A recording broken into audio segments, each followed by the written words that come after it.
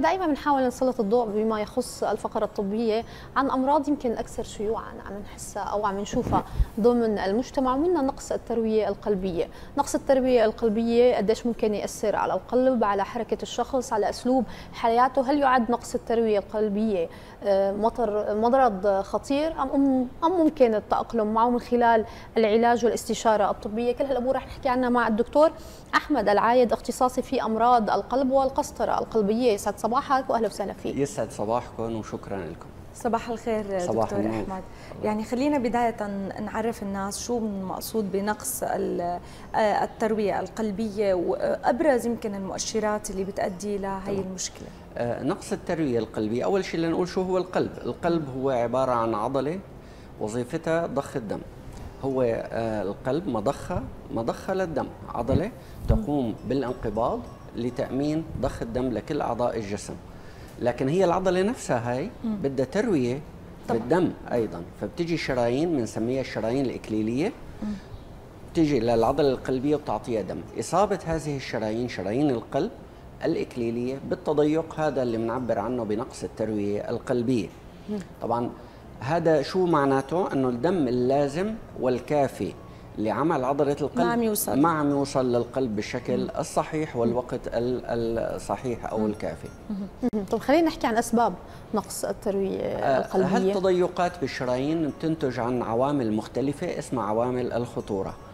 آه، منها السكر منها ارتفاع الكوليسترول وشحوم الدم آه، ارتفاع الضغط الشرياني من التدخين سواء كان الدخان سيجارة أو أرجيلة من زيادة الوزن آه، قلة الحركة كلها هي اسمها عوامل خطورة. طبعا في عوامل أيضا هي عوامل وراثية ما له يد فيها. آه، هالمرض ممكن يكتر بعائلات أكثر من عائلات. صحيح. تلاقيه بصير عند الجد عند الأب عند الابن وممكن يكون باكر وممكن يكون متأخر. هلأ بنقول باكر إذا كان بدأ قبل ال 45 سنة. أما بعد هيك فبيكون عادي هذا المرض. طيب دكتور أحمد خلينا نحكي شوي اليوم آه، أنا كيف بعرف إنه هي المشكلة هي من هذا السبب؟ هل في أعراض معينة تختلف أم لا؟ نحن بشكل عام لازم اللي عنده هي عوامل الخطورة اللي حضرتك ذكرتها لازم بشكل دوري آه، يفحص لحتى يطمن على حالة أكيد هو الحقيقة اللي عنده هيك عوامل خطورة الفحص الدوري هو الطريقة الأفضل لكشف كل قد إيه لازم يعمل تقريبا؟ حسب نوع المرض يعني مريض السكر غير مريض الضغط غير م. مريض ارتفاع الكوليسترول والشحوم كل حالة لها تفصيلها الحقيقة. هلأ آه، كأعراض الحقيقة أعراض نقص التروية العرض الرئيسي هو الألم الصدري. نعم الالم الصدري بيجي مع إنه هو مو ألم آه، صارخ أو حاد. عادة بيجي بشكل آه، غصة أو أو عصة بسموها أو لا النغزة مو ألم قلبي الحقيقة. غالبا هي ألم عصبي النغزة آه. الألم الناخز غالبا غير قلبي. آه الألم القلبي هو ألم آه ضاغط عاصر آه ممكن يكون حستقل على الصدر آه، برافقه عادة آه، غثيان ممكن أو إقياء أو خدر أو تنميل باليد آه، بيجي جهدي عادة بنقص التروية اللي بنسميه نقص التروية العادي المستقر بيجي على الجهد لمسافة معينة بيمشي المريض مثلا 200 متر 300 متر بيجي الألم بيوقف شوي بيروح الألم برد بكفي المشي كمان بعد مسافة معينة ممكن يرجع له الألم هذا بصير أكثر وضوحا على صعود الدرج يعني بيطلع طابق أول أو ثاني مثلا حسب آه، هو شو اعتاد المريض لتظهر الأعراض عنده. فهو الألم القلبي ألم جهدي عادة عادة إلا بحالات قليلة ممكن يجي على الراحة. الألم الناخز اللي بيجي بشكل نغزة بتروح وبتجي بسرعة غالبا هذا ألم عصبي عضلي. آه، أو بنسميه من جدار الصدر أو هيكلي هيكل الصدر اللي هو الجهاز العظمي الأضلاع الأعصاب العضلات. هي ممكن تعمل هيك هيك آلام. الم القلب لا بيختلف شوي عن هالشيء طيب دكتور يعني ذكرت عوامل الخطورة بما يخص نقص التروية القلبية. ودائما الموضوع لما يكون مرتبط بالقلب دائما في خوف. يعني مرتبط بالحياة أو الموت نوعا ما لأنه بنعرف القلب هو مسؤول يعني الأساسي على حياة الشخص. بس لما نقول من أهم عوامل الخطورة هي السكري والضغط وفي نسبة عالية بالمجتمع اليوم تصاب بمرض السكري والضغط حتى الشباب للأسف. بس خلينا نحكي شو هي يمكن المحظورات إذا بدنا نحكي عنها. أهم القصص اللي لازم ننتبه عليها إذا كان عندنا نقص ترويه قلبية مرض سكري أو ضغط الحقيقة مرض السكري مثل ما تفضلتي والضغط منتشر بشكل كثير للأسف كبير. بيقولوا أكثر من ثلث السكان عندهم يا ضغط أو سكر أو صحيح حتى إذا بدنا ندخل بشيء اللي اسمه ما قبل السكري مم. شو هي ما قبل السكري هي لما تكون الأرقام أرقام السكر ما بين الطبيعي للعتبة اللي بنشخص فيها مرض السكر مم. فمثلا إذا قلنا على الريق هو 126 السكر هو مم. العتبة اللي بعدها بنقول إنه في ارتفاع مم. طيب ما بين ال 100 لل 126 هي حالة اسمها ما قبل السكري مم. الحقيقة تبين إنه هي حالة مهمة جدا مم. لو ما كان اسمه مريض سكري ما قبل السكري مهم جدا مثل المرض بحد ذاته هو تماما وبشكل خطورة قلبية وعائية مم. ولما نعمل نخل للسكان الحقيقة بسموها نخل أو فحص عام بنكتشف إنه ثلث السكان عندهم هي الحالة ثلث تماما ثلث البالغين عندهم هالحالة اللي هي مو مرض صريح كامل لكن هي بداية المرض. وهي حالة تهيؤ للمرض صحيح. مهمة جدا من الناحية القلبية لأنه ممكن تعمل آه، خطورة قلبية وعائية ممكن تعمل تضيقات بالشرايين المختلفة وخاصة بشرايين القلب. وبيدخل مريضنا بالشيء اللي بنسميه نقص تروية الموضوع طبعا اللي هو نقص التروية القلبية.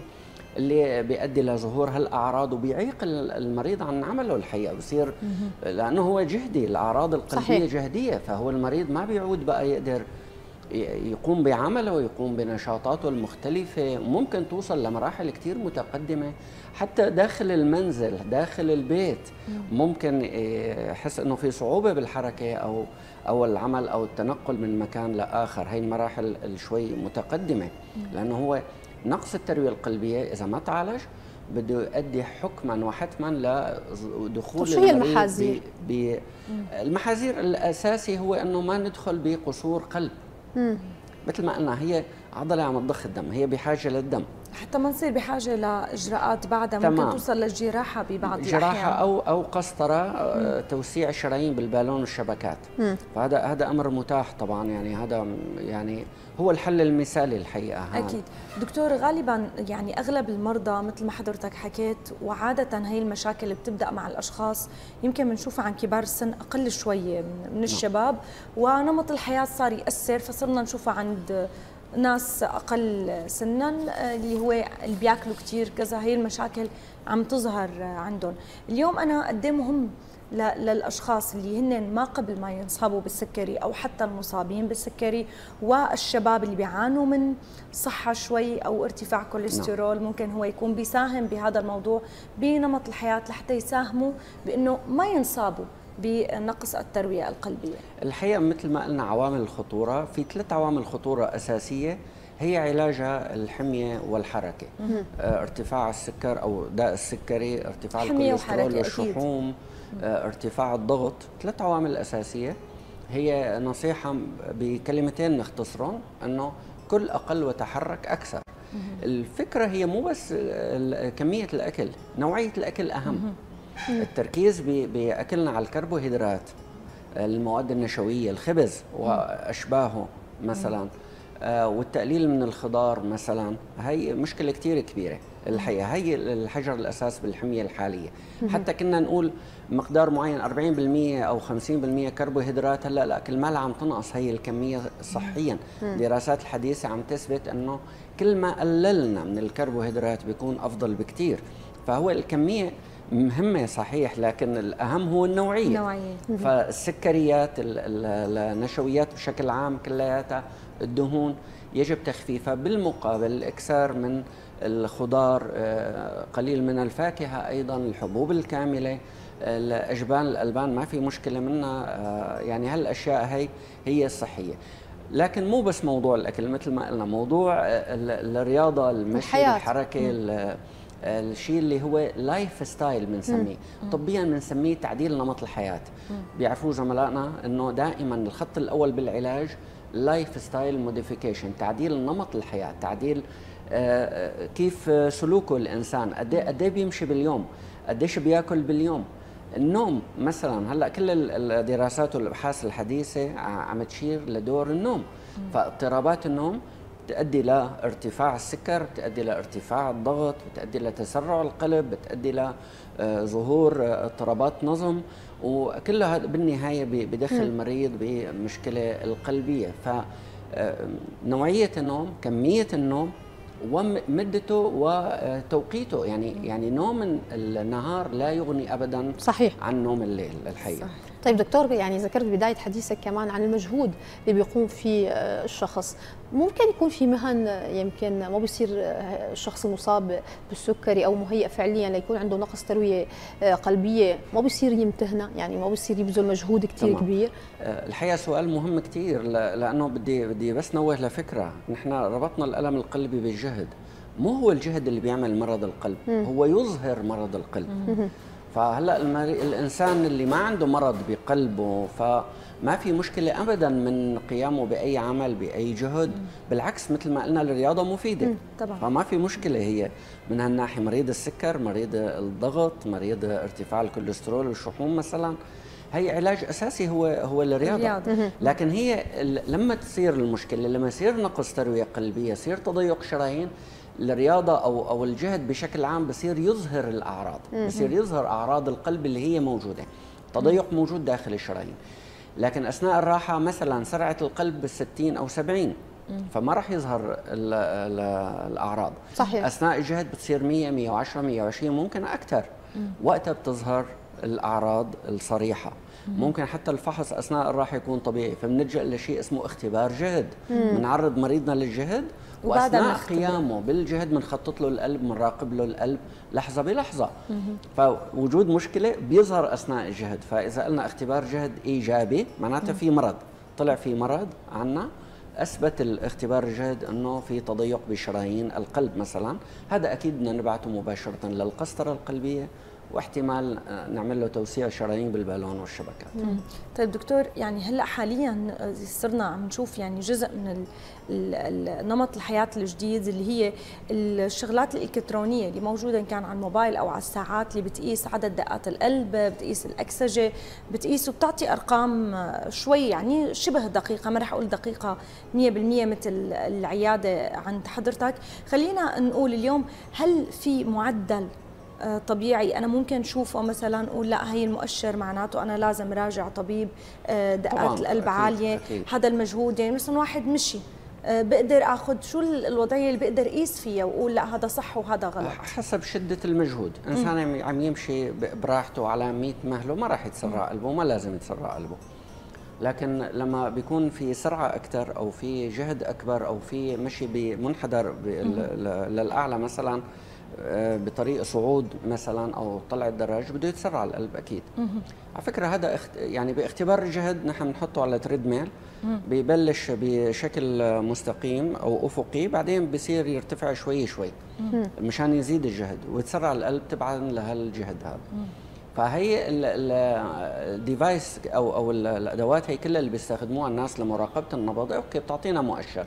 وسطيا هو بالسبعينات نبض القلب. 70 ضربة بالدقيقة بوضعية الراحة. لكل الأشخاص؟ لك لكل الناس. هذا مم. هذا وسطيا. مم. كل ما كان أصغر عمرا عند الأطفال عند الولدان المواليد الجدد بيكون أعلى النبض. مم. عند الكبار شوي بيميل للبطء مثلا مثلا. هذا الوسطي عم أقول كلمة وسطي يعني من كذا إلى كذا. هلا هو القيمة الدقيقة لنبض القلب من 60 ل 100 لكن هو الوسطيا حوالي 70 بيكون الحاله الوسطية.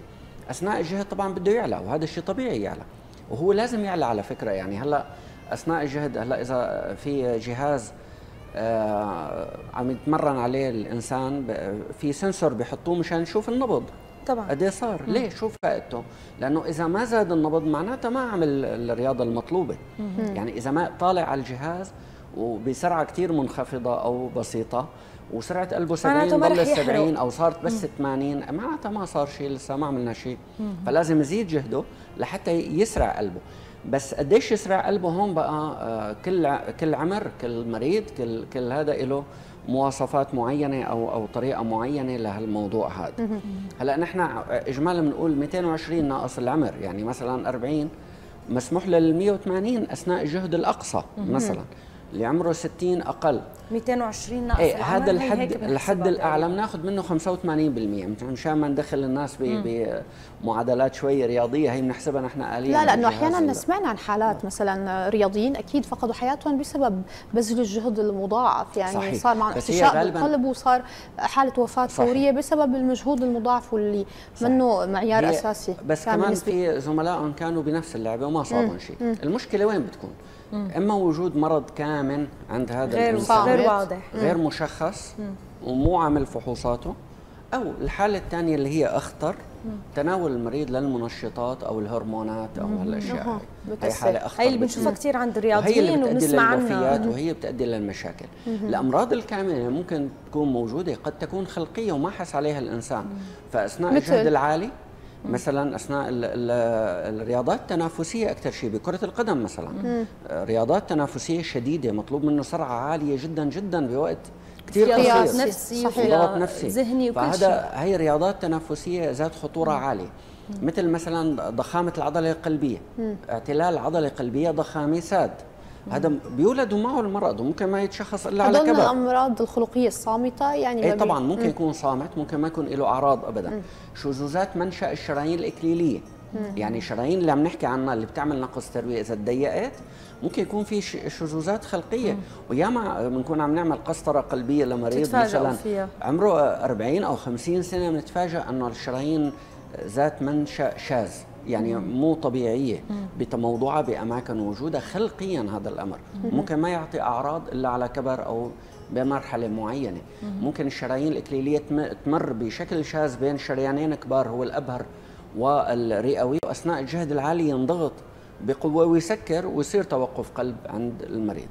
ففي أسباب كثيرة. هلأ الحقيقة هو الرياضيين نحن نحن مع الرياضة أكيد صحيح. وبنشجع الرياضة لكن أيضا بنطالبهم بالكشف الدوري وبمراقبة القلب عندهم لحتى نضمن سلامتهم ويضلوا عم يمارسوا الرياضة صحيح، لأنه ويكونوا الرياضة بقمة- حياة بالأساس، بقمة صحيح. عطائهم. أكيد. دكتور قبل ما نختم شو أبرز ال- العلاجات اللي عم بيتم تناولها لحل هاي المشكلة؟ إضافة حكينا نحن عن النمط الصحي والأمور اللي بيقدر يعملها المريض من نفسه ولازم يعملها بشكل عام. هل الحقيقة هلا آه، يعني الش- التطور اللي صار حول العالم كله هو بالقسطرة القلبية والتداخلات عن طريق القسطرة. القسطره هي عبارة عن دخول بإبرة مجرد إبرة صحيح. يعني للشريان سواء الكعبري أو الفخذي الكعبري له مواده والفخذي له مواده الخاصة فيه. بندخل لشرايين القلب بنصورها وبنشوف إذا في تضيق أو لا. تخدير موضعي مو عن مريض صحيان. وإذا كان في تضيق عن طريق نفس القسطره وبنفس الأسلوب ممكن نوسع الشرايين بالبالون والشبكات وبيرجع تدفق الدم طبيعي ضمن شرايين القلب. هذا هذا ال- ال- الحل الجذري خليني أقول أو المثالي بس الالتزام مع المفروض إنه نصائح يكون. يمكن ومحاذير بي- بيقوم فيها الطبيب الاطلاع على المريض أكيد، يعني هي نقطة كثير مهمة لأنه أحيانا. بنسمع حدا رجع عمل قسطرة مرة واثنين وثلاثة لأنه يمكن ما في التزام ما في التزام بيعمل المعايير. بيعمل عملية قلب مفتوح أحيانا بظن حاله رجع طبيعي فبيرجع بيدخن أو بيهمل السكر بيهمل الضغط بيهمل الحمية بيرجع يصاب من أول وجديد طبعا. للأسف. لأنه آه هذا الكلام آه ال- التوصيات العامة شو خلينا أهم نقول. التوصيات العامة بنحكي؟ يعني مثلا الحمية المضبوطة الأكل الصحي اللي حكينا عنه قبل شوي مثلا. الحركة ال- الرياضة بس ما بدها تكون شغلة نحن مشكلتنا بنقول للناس اللي لعبوا رياضة بيسجلوا بالجيم شهر شهرين وبعدين بينسوا الموضوع. صح. الحقيقة هي lifestyle نمط حياة. صحيح. إذا ما كان نمط الحياة تتعدل ما بنستفيد من شهر أو شهرين. طبعا. فهي ممكن شغلة ترجع مهمة تتفاقم جدا أكثر طبعا. يعني الجسم و- بس يتعود على شيء ونرجع نسحبه. منه. وكثير. مهم موضوع إيقاف التدخين. سواء الكثير أو القليل حتى السلبي. عم يركزوا هلأ على للأسف يعني السلبي. في ازدياد. دائما بنحكي عن أهمية إنه اليوم ترك التدخين وقديش له آثار سلبية ويمكن هو المسبب الرئيسي لجميع أمراض القلب ومع ذلك عم نشوف أعمار صغيرة منتشره للأسف أمام عند الأهالي الصبايا عند شيء ال- مؤسف جدا الحقيقة. للأسف. آه، صبايا لسه ما العشرين يعني آه، الأرجيلة يوميا وممكن عدة مرات. الحقيقة كثير آه، خطر وعم نشوف حالات عند الشباب ناتج عن عن هذا الموضوع. آه، تضيقات بالشرايين ال- الإكليلية المروية لعضلة القلب. عم نحط لهم شبكات تخيلوا بعمر ال 20 مثلا أو 18 أو يعني شيء غريب جدا. سابقا ما كنا نشوف الأمراض إلا صح. عند واحد عمره 60 أو 70 سنة. هلأ بالعشرينات أو الثلاثينات عم نشوفها. إضافة للملوثات اللي موجودة اللي هي عم بتساهم بالضبط. طبعاً. هي المشكلة بيربطوا الدخان بالتوتر. بس الحقيقة إذا توتر رح يدخن وإذا انبسط رح يدخن. فهو الحقيقة يعني ما له علاقة الموضوع يعني إنه هو إنه لأنه أنا متوتر بدي ادخن لا وإذا انبسطت رح هي. عادة وليست حالة عادة. نفسية. آه، فلازم الحقيقة نكون حريصين على تركها. ومثل ما قلنا حتى التدخين السلبي وهي يعني كترانة كثير الحقيقة بكون فرد أو اثنين بالعائلة بيجتمعوا يعني خمسة ستة الكل صار اسمه مدخن. طبعا إذا كان يومي هذا الأمر. مو مو قضية صدفة مثلا. صحيح. بس إذا كان بشكل يومي بالبيت أو بمكان عمل فالتدخين السلبي له نفس الأذى ونفس الضرر للتدخين الإيجابي. أكيد. أكيد يعني- بالختام بدنا نتشكرك الدكتور أحمد العايد. دائما معك معلومات جديدة ومفيدة طبيا أخصائي بأمراض القلب والقسطرة القلبية. شكرا كثير لك. شكرا لكم. شكرا لك دكتور. أوقاتكم. النصائح اللي بتقدم لنا إياها بالعام شكرا لكم. لك. الله يعطيكم العافية.